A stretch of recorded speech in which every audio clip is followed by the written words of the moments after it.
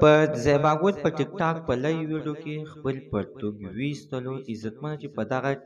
ځکه ویستو چې په دغه ټیک ټاک کې یو څو شرطونه دي چې هغه شرطونه چې دی نه کړی نو تا ته نه ټیک ټاک پیسې درکوي او نه دې مخکې بوځي لازمي نه دغه ویډیو تاسو موږ سره کتلی شئ د دې ویډیو نه مخکې اول زه تاسو ته دا یادګینه وکم تاسو کو چرې زموږ په دې سوپر کلیک چینل کې نوی وای چینل هم نوی سبسکرایب کړئ مهرباني وکړئ تاسو زموږ د سوپر کلیک چینل د سره سبسکرایب کړئ خوا کې سره غټلې ها یو نوی معلوماتي ویډیو تاسو ته په اسانۍ باندې عزتمنو ټیک ټاک یو داسې بې شرمه یو ایپ دی چې ټوله نړۍ یې په شرمونو باندې وشه ځکه عزتمنو چې ډېر پښتانه اوس نن سبا په ټیک ټاک باندې راځي او یو بل ته کنځلې کوي بل یو بل ته په خاشي خبرې هم پکې کیږي وای اوس عزتمنو په سوشل میډیا باندې دا یو ټیک ټاک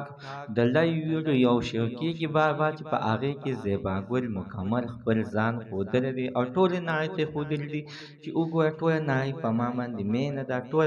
نړۍ ما سره یې مینه کوي وګوره زه دا شیم ټول اسی یعنی ټول اسی لری ما ځکه عزتمن چې ټول اسی یو به دلی وا کو چېرې تاسو دغه ویډیو کتل غواړئ لاندې په کمنټ کې موږ سره خپل د واتس اپ نمبر شریک کړئ موږ به تاسو ته درولېږو زموږ د دې ویډیو مقصد همدا دی چې نن سبا سوشل میډیا د وړو د کتو نه ده ځکه عزتمن چې مخکې به ماشومان کېناستل ښایسته مزاخیل ډارامې به پرې راتلې نو هغه به یې خپلو ماشومانو ته پرېږده نو څه ټایم به پرې تېر شو نن سبا عزتمنو نه هغه وخت نه دی او نه هغه ټایم دی نن سبا دغه په ټیک ټاک باندې عزتمن خلک په لای ویډو باندې راځي د پیسو په خاطر باندې په دغه طریقه دوی یعنی ځان له پیسې پیدا کوي په دغه طریقه دوی ځان خپل پالور لایک سی ورکوي چې نن سبا عزتمن چې څنګه ټیک ټاک باندې زیباګل مشهور ټیک ټاکر ته هغه راغل د او بیا کېده پرتو کې پکېسته دی او ته ویل چې وی ګوای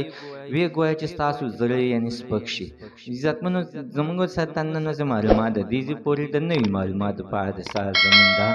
سپر کلیک چینل د سره سبسکرایب کړئ خو کې سره د ټلې نشان وځي خا یو نوي معلومات ویډیو تاسو ته په اسانۍ باندې دروي